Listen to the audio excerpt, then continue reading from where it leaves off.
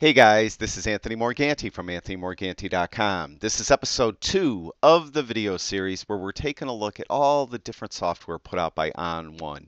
In this episode, we're going to take a closer look at Browse. Now, if you're like me and you're a Lightroom user, you might not use the Browse module in ON1 very much because it's very much like the library module in Lightroom. It has a lot of the same functions. The advantage of um, ON1's Browse, though, is that it's a little lighter weight. You don't have to import images into it. And for me at least, the import process usually takes quite a long time because I add keywords and I do all this stuff eh, during import. And usually when I do that in Lightroom, it takes a long time. So if you're always, you know, the type of photographer where you're in a hurry, you're a photojournalist, you're, um, you know, a sports photographer, and you've got to get the images out there right away, you might prefer using Browse because you do not have to import any of your images. And still, you could do a lot of sorting and do a lot of those uh, powerful things that you could do with the Lightroom library module, you could still do in browse. browse. So what we're going to do is we're just going to take a look around and I'm going to show you some of the features of Browse. First of all, as you could see, it's laid out pretty much like the library module in Lightroom for those of you that use Lightroom. And I should add, if you're not a Lightroom user, you might use Browse every day. This might be the your starting point where you're going to begin. Uh, you're going to sort images, find out which ones are your best, and then uh, decide which ones you're going to process further using some of the other modules in ON1 Photo 10. So uh, keep that in mind. Um, I know I'm probably speaking um, a little bit to both parties, meaning people that use Lightroom and those that do not use Lightroom. All right, now as you can see in the middle, we have some images. This is called grid view. We're looking at a view of the images that happen to be in this folder. Now how you navigate around in um, in Browse is in the left-hand panel.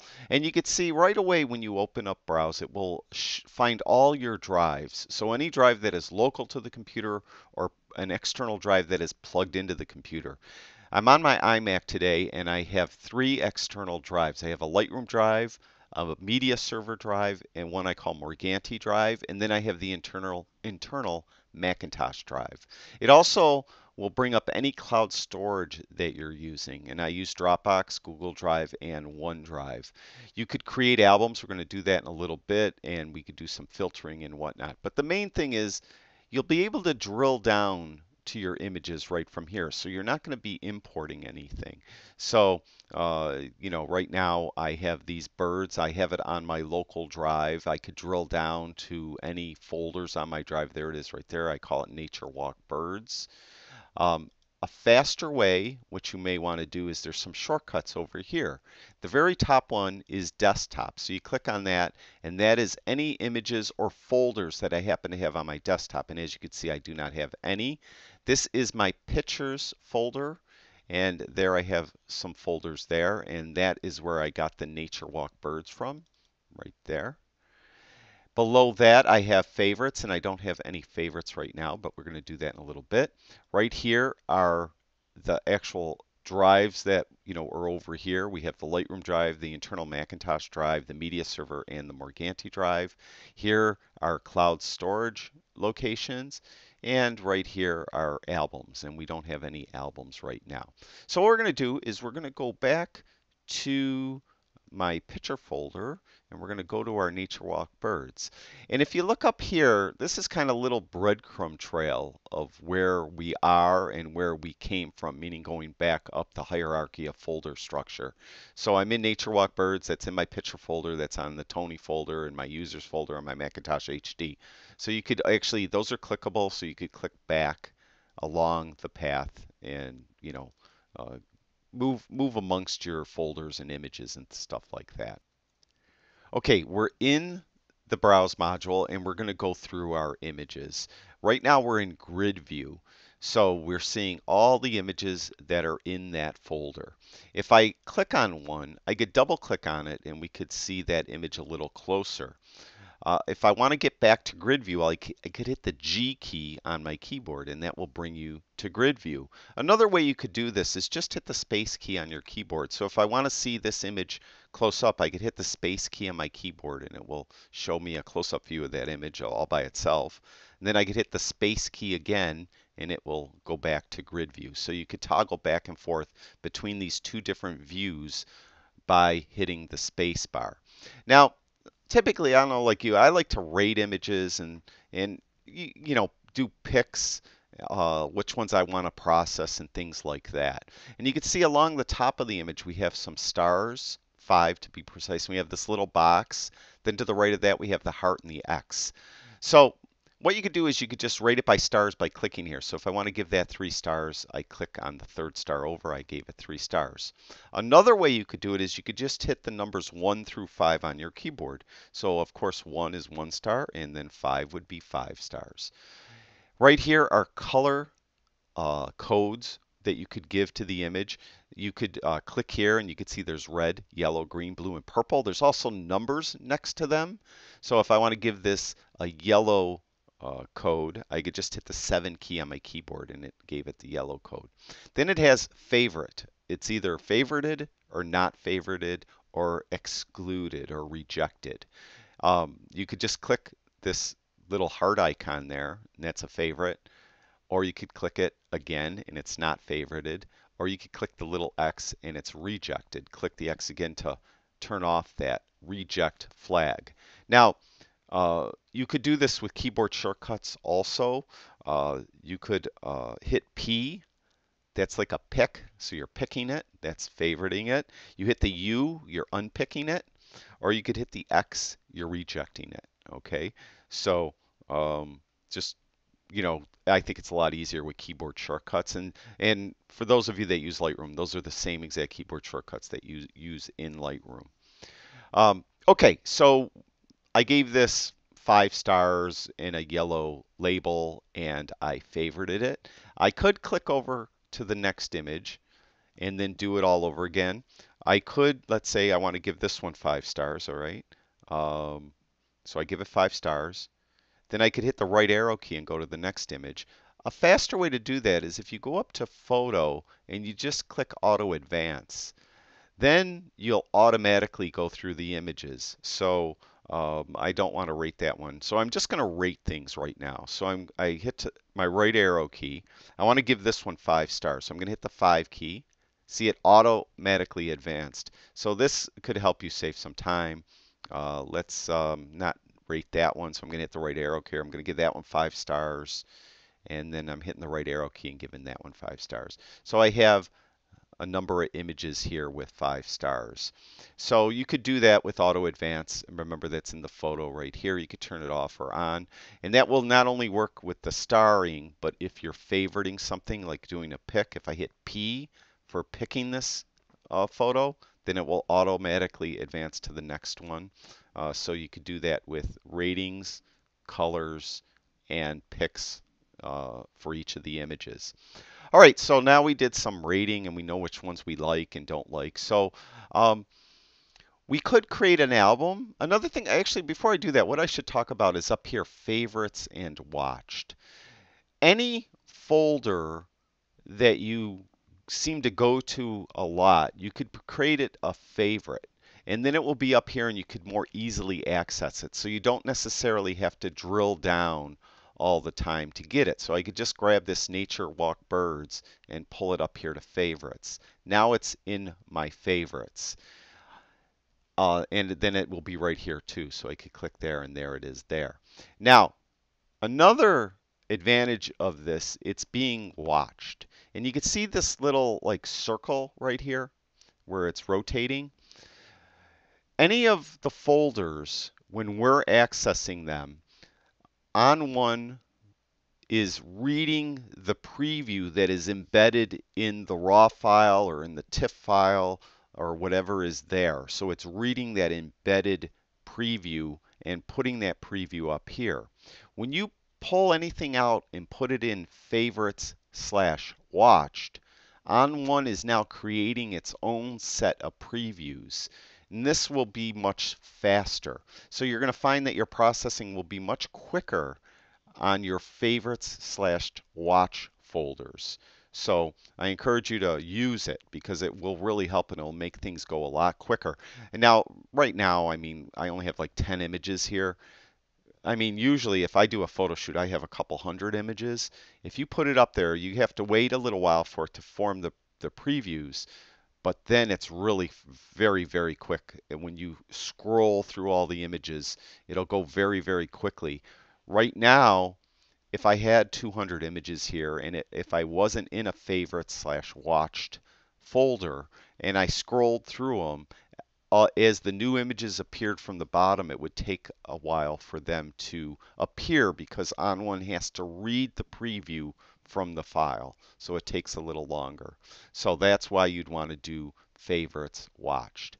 Now, we could do albums. Uh, so let's take all our five star images. So I clicked on that first one. I'm going to hold the command key in and click on the second one. If you have um, a PC, of course, would hold the control key in. So I'm just going to keep holding my command key in and click on all these five star uh, images.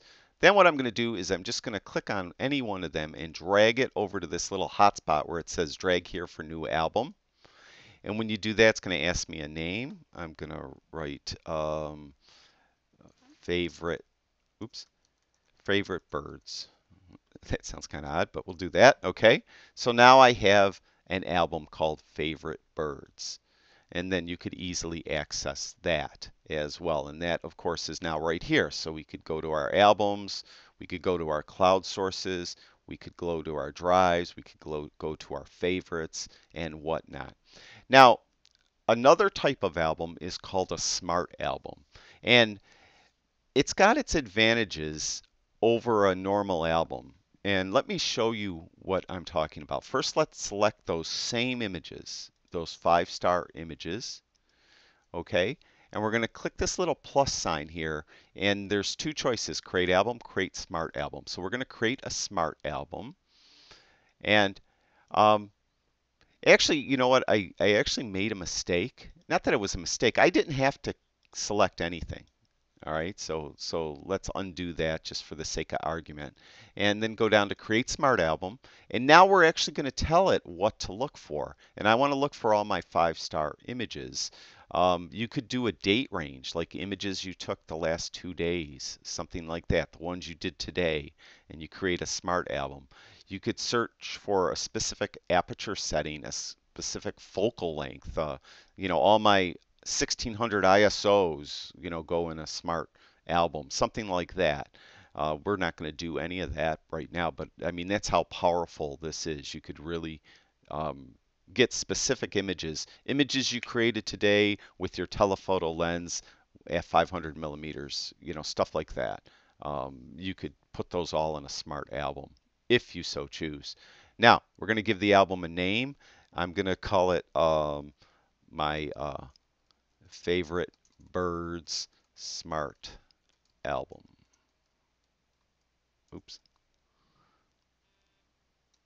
Okay, favorite birds smart album. And we're going to click OK. Now, if I go up to favorite bird smart album, you can see all those five star birds are there, just like in my favorite birds album. Now here's the key difference between a smart album and a regular everyday album. Let's go back just to our folder, okay, with all the birds. Let's say I don't want this one to be five star anymore. I'm going to make it one star, okay? Let's go back to our favorite birds album.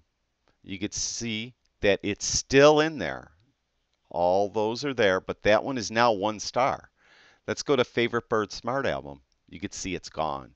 Favorite uh, Smart Albums are more dynamic.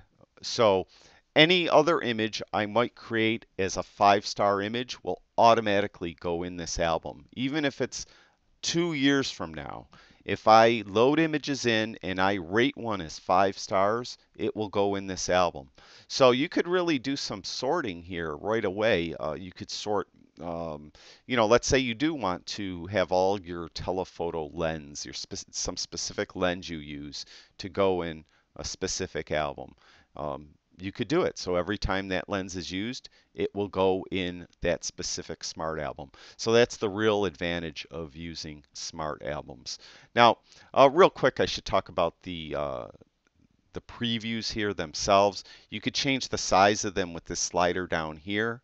You can make them smaller or larger by sliding that slider. You could also at the ends, you could just click on uh, these little squares and make them incrementally bigger or smaller.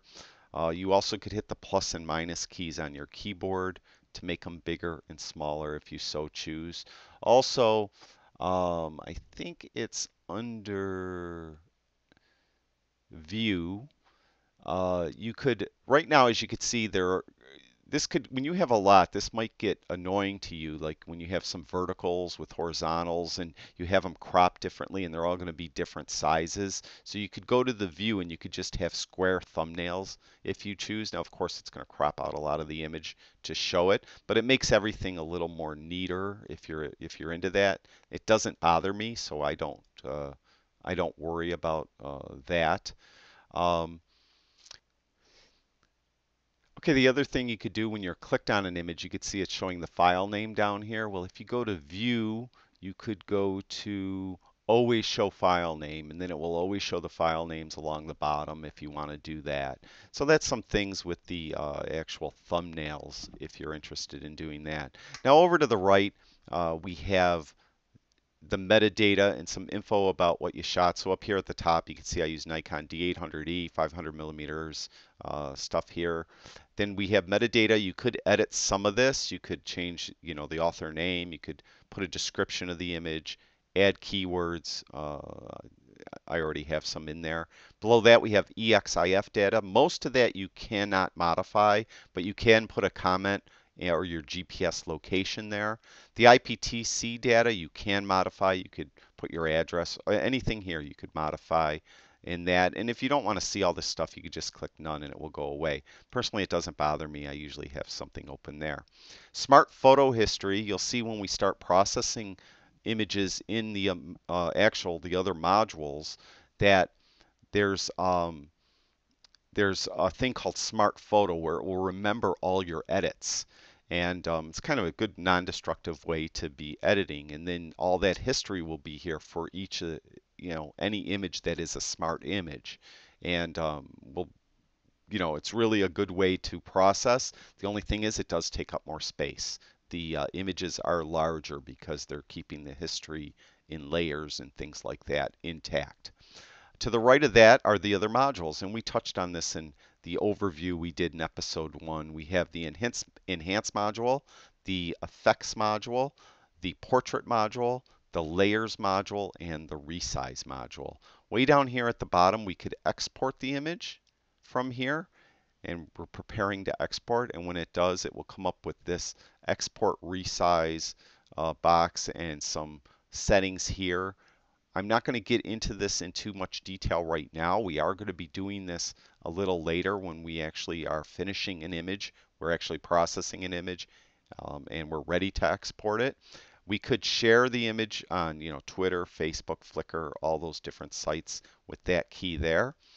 Also, each of these panels could be opened or closed by hitting these arrows on either side. You also could hit the tab key and you could close them both at the same time and the tab key will open them up. You also could resize them. If you hover over where the line is right there, you could make them smaller or larger up to a point, up to a point.